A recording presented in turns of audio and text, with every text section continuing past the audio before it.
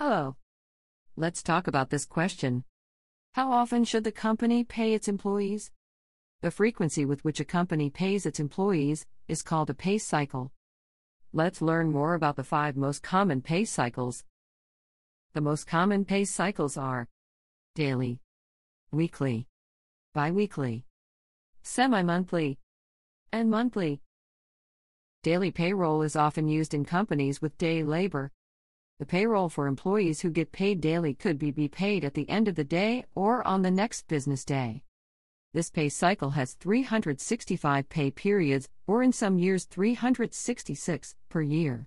Weekly payroll is typically used in a five day workweek and is often paid on the following Friday.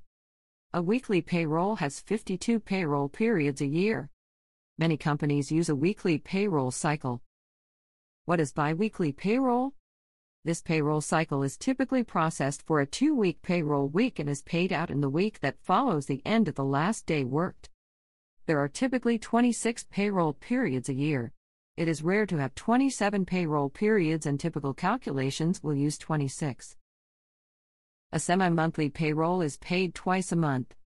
Two examples of possible pay periods could be paid on 1st and 15th, or the 5th and the 20th. There are 24 payroll periods a year. A monthly payroll is less frequently used than other pay cycles. However, it is a common payroll cycle for schools and colleges. Some companies process payroll once a month and may allow a semi monthly draw or advance to their employees. With this payroll cycle, employees are paid 12 times per year. Let's review. How often an employee is paid depends on the pay frequency or pay cycle. Daily, weekly, bi weekly, semi monthly, and monthly are the five most common pay cycles. Daily and monthly are less frequently used.